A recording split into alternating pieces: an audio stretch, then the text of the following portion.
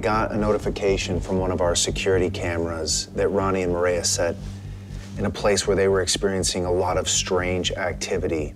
Uh, so I downloaded the video, and obviously I can see what has triggered the alarm. It's this deer. I mean, the way this deer is moving and how it's on high alert reminds me of that incredible thermal video that Russell captured in Oregon a few years ago when he saw this large bipedal creature moving through this clearing and into the tree line.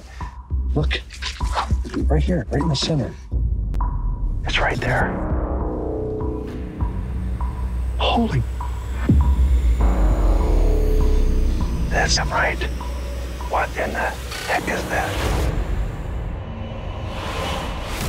One thing I loved about that video was off to the side, a few hundred yards away, there was an approaching deer who seemed to sense the immediate danger and just perk its head up and stop dead in its tracks. I think it knew that whatever went into that tree line could harm it. And uh, the next thing it does is it just bolts off. I've never seen a deer move so quick, but this deer seems to be on that same type of high alert that there's some type of predator in the area. Deer pass through here all the time, but it's when they're on high alert like this, especially at night, that really gets my attention. And you know what? As a matter of fact, I just got another notification from that same camera. Maybe we can find out what was spooking that deer. All right, hold on here. All right, here we go. It's downloading.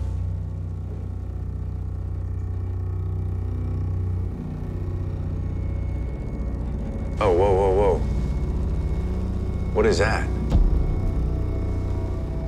There were some strange lights back there in the tree line, but now they're gone. Oh, whoa. Did you see that? Check this out. So it's like four or five or six little balls of light, and then boom, they all just come together, emit this huge electric flash, and then just disappear, and it's gone.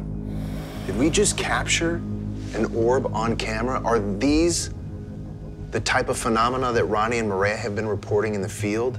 The same type of phenomena I've been reading and hearing about when witnesses describe these strange balls of light that accompany a Bigfoot encounter? So strange. What's really eerie is it almost has a sentience to it, like it's being intelligently controlled. I have no idea what that is.